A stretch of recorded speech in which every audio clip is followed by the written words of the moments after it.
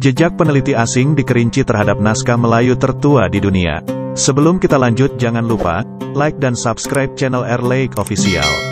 Sebelum Petrus Vorhoeven meneliti naskah undang-undang tersebut, Jacobus Johannes Skrike telah mencatat pada tahun 1929.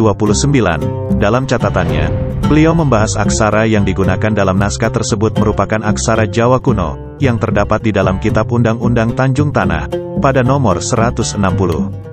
Namun penelitian beliau belum sampai pada kesimpulannya. Kemudian, penelitian tersebut dilanjutkan lagi oleh Petrus Vorhoeven pada tahun 1941, yang merupakan seorang pejabat ta'alam tenar, Gouvernu van Sumatera, yang merupakan pegawai kantor bahasa untuk wilayah Sumatera, pada zaman kolonial Hindia Belanda, di Kerinci.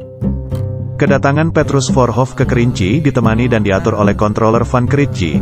Diketahui pula Petrus Vorhoff telah dua kali bola balik ke Kerinci pada tahun 1941. Pertama, tercatat pada tanggal 7 hingga tanggal 11 April. Kedua, tanggal 2 hingga tanggal 17 Juli. Petrus Vorhoff sudah mufakat terlebih dahulu dengan depati-depati yang menyimpan pusaka itu untuk diteliti.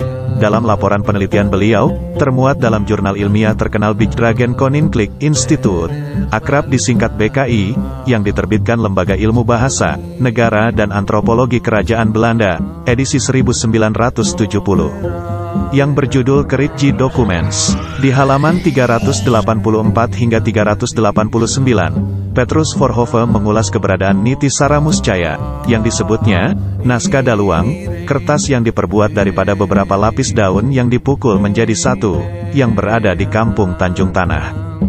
Diketahui pula pusako Tanjung Tanah itu, merupakan dari zaman pra-Islam. Berupa buku kecil yang dijilid dengan benang. Versi Melayu dari buku Undang-Undang Sarasa Mucaya, di dalam teks itu nama Darmasraya tersebut dalam buku kecil yang terbuat dari daluang itu.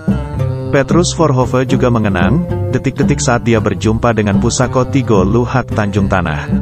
Waktu itu Petrus Vorhoeven berada di atas jembatan yang beratap, yang dikelilingi kerumunan masyarakat Tanjung Tanah di kala itu. Setelah 60 tahun kemudian cerita ini dihidupkan lagi oleh Profesor Uli Kozo, lelaki kelahiran Hildesheim, Jerman, tanggal 26 Mei tahun 1959 seorang peneliti bahasa yang banyak melakukan riset di Sumatera. Menurut ceritanya, dia pertama kali melihat naskah itu dengan mata kepala sendiri pada tahun 2002. Atas izin dari pemuka adat Tanjung Tanah, akhirnya Profesor Uli Kozo dapat memotret naskah tersebut untuk diteliti. Kemudian Profesor Uli Kozo membawa sepotong kecil naskah itu untuk diteliti. Ini pun atas seizin pemuka adat di Tanjung Tanah, Bumi Sakti Alam Kerinci. Setelah terbit hasil uji karbon dari Rafter Radiokarbon Laboratory, Wellington, New Zealand, pada tanggal 18 November tahun 2003, sesuai pepatah adat mengatakan, Pusako lamo yang idak lapuk dimakan paneh, idak lekang dimakan hujan, itu dinyatakan sebagai naskah Melayu tertua di dunia. Namun Profesor Uli Kuzo dalam penelitiannya bukan sendirian saja ada beberapa orang yang terlibat dalam penelitian tersebut. Naskah yang dijuluki sebagai naskah Melayu tertua di dunia itu, dialih aksarakan oleh Hasan Jafar, Nini Susanti, Waruno Mahdi. Dan alih bahasa dikerjakan bersama-sama Acadiati Ikram, Kuntara Wirya Martana, Karl Anderbeck, Thomas Hunter, Uli Kozo, serta Waruno Mahdi.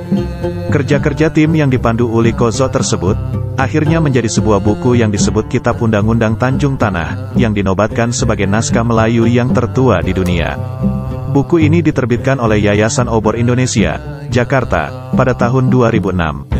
Penerbitan buku itu juga dibantu oleh Yayasan Naskah Nusantara dan The Ambassadors Fund for Cultural Preservation. Semenjak itu pesona Niti Saramuscaya kian menarik Pukau. Laksana seri balik ke muka, darah balik ke badan. Kini, ia menjadi satu di antara naskah yang cukup banyak diperbincangkan di kalangan ilmuwan, baik nasional maupun internasional. Itulah sejarah jejak peneliti asing di Kerinci Tempo dulu, dan terima kasih telah menonton video dari Airlake Official. Semoga video ini bermanfaat. Jika terdapat kesalahan kami seluruh tim meminta maaf sebesar-besarnya.